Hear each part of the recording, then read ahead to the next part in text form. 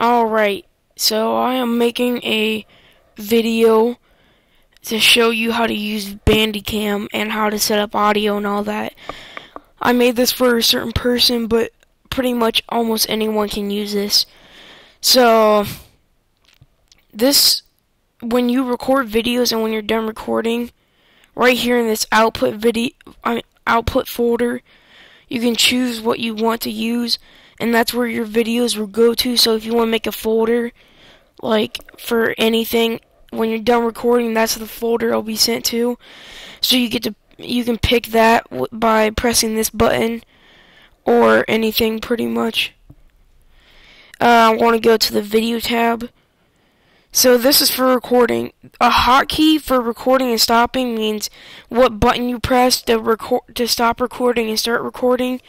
I use the alt button because when I play Minecraft, you don't need to use the alt, and it's really easy button just to hit. It's right in front of you, so that's why I use. Uh, here's the no cursor, so if you want that on, that means your cursor won't show on the screen. But my cursor obviously is showing because um, I have it off. And if you take pictures, there's a hotkey for that and everything, but I don't take pictures. And there's this, and you can register, which means you can buy a uh, you can buy Bandicam, which I don't know how much it is, but you I have the free version, so that's why there's a banner at the top of all my videos.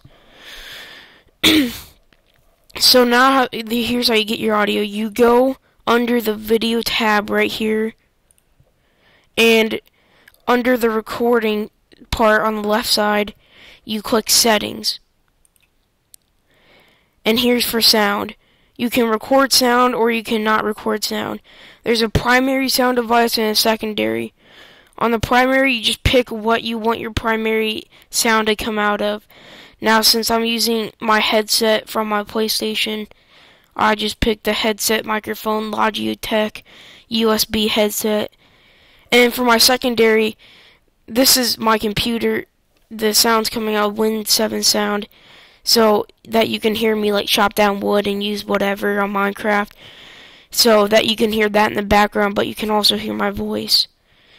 And then you can add a logo to your video, which you can um, you can put it under the Bandicam logo, or if you bought Bandicam, you won't have that Bandicam.com logo. So you can just add a logo that you like and put it on. So, yeah, that's pretty much all you have to do for Bandicam.